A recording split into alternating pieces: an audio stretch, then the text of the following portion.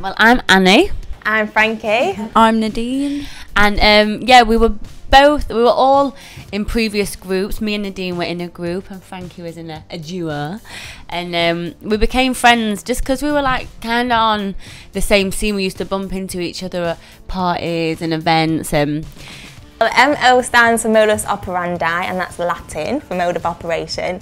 And um, it, it means a particular way of doing something to achieve your goal or dream. And we're all about being positive. Um, and we're in that whole process of finding a name. And we're in the car one day, and Addie Lee. and Drake, the motto was on, and in Lil Wayne's verse, he says it. And then we're like, oh, that's kind of cool, and just looked into the whole meaning, and it just fit us. we used to talk about what we would actually love to be doing because we don't regret our other groups at all. They were both great learning experiences. You learn so much from all these kinds of things. But um, we used to talk about what we'd actually love to be doing musically.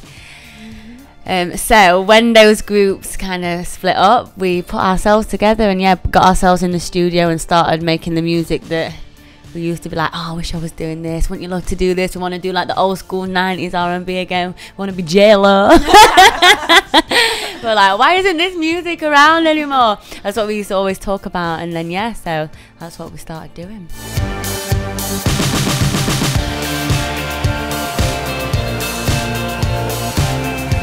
Yeah, the last 12 months have been amazing. Hard work. Uh, lots of hap- lots of stuff's happened. We've been on tour with Little Mix, our first arena tour.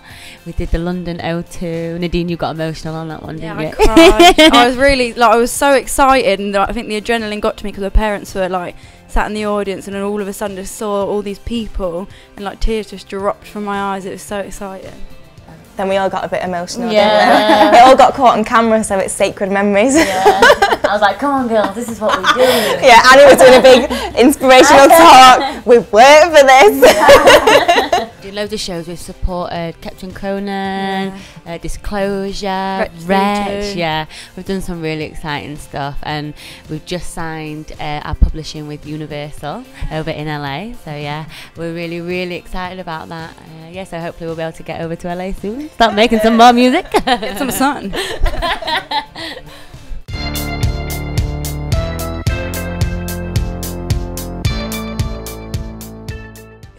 yeah, so we get in the studio, we hear a beat, and we like we either well not we either love it or hate it. We always know whether we can work with it or not. We get like a buzz off it, but like, yeah, we can work with this one.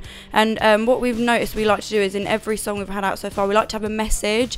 Like "Wait Your Turn" was about um, achieving your dreams and not letting anyone get in the way. Ain't got time is pretty obvious. Not letting Nobody got time for that. yeah, negativity maybe, and then heart. There was a story to it. It's like women empowered, and what else has there been? For a minute, again another women empowered one, and dance on my own. This one's all about the people that like to be different, individual, independent, aren't don't care what people think, aren't afraid to stand out. We're, Um, as a group, we're very, very inclusive, not exclusive. We like Yeah. to include everyone. Everyone wants to be. We want everyone to be part of the we mob. want everyone to be part of the mob in our gang. So yeah, in- inclusive is our thing. And we're not man haters. no. We're not man haters.